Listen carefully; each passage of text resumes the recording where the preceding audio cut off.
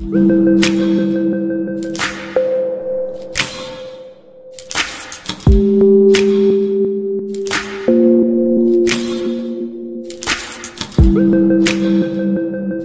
3R yang berhormat yang berhormat Menteri Besar uh, Kedah.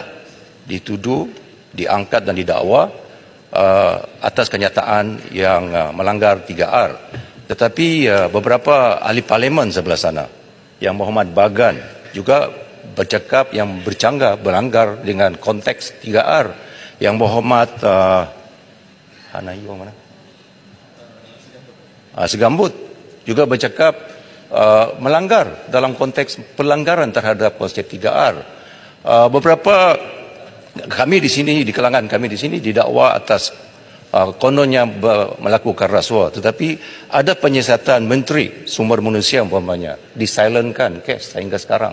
So elemen ini juga penting dalam menentukan uh, kerajaan uh, melakukan tugasan dan hasrat untuk mensifarkan rasuah dalam negara kita. Jadi, selective prosecution, pendakwaan terpilih yang seolah-olah undang-undang ketika ini hanya ditupukan kepada kami yang sebelah sini.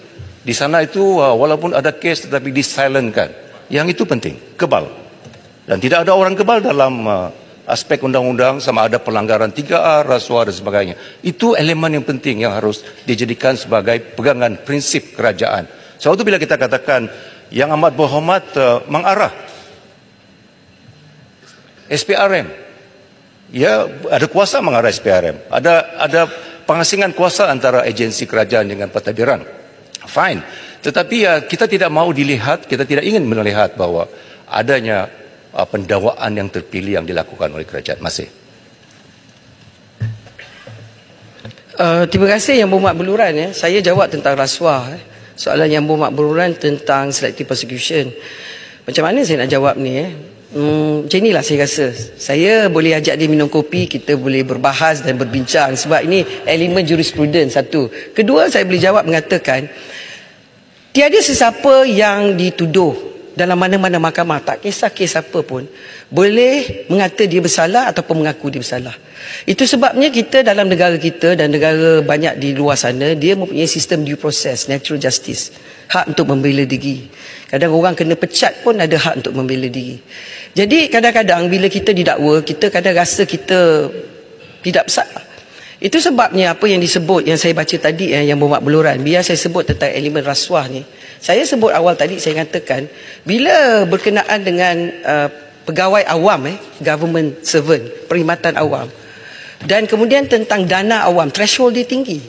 Tetapi bila kita nak tengok tentang GLC dan sebagainya, kita tengok pun asalkan awam tu terlibat. Tetapi sekarang ni bila nak cakap tentang rasuah, semua elemen boleh didefinisikan sebagai rasuah.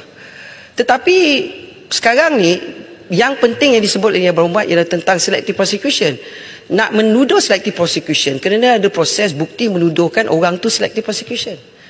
Macam mana kita nak tuduh? There must be a process dengan izin.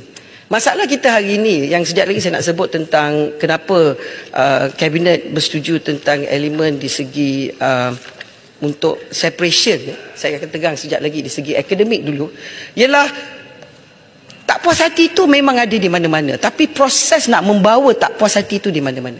Macam mana nak bawa? Ini sebabnya bila kita bercakap tentang elemen rasuah yang begitu subjektif. Pada kita, kita tidak rasuah. Saya saya kadang-kadang rasa sebagai ahli parlimen yang dah lima penggal. Eh, uh, elemen tentang kita nak memberi bantuan. Kadang-kadang orang boleh tuduh, oh beri bantuan kena rasuah, ni tak beri rasuah. Itu adalah elemen rasuah. Tapi di segi memberi, Muhammad. dengan izin, saya, saya, saya nak tegang pada Dewan. Eh, saya bercakap dengan uh, speaker kejap eh.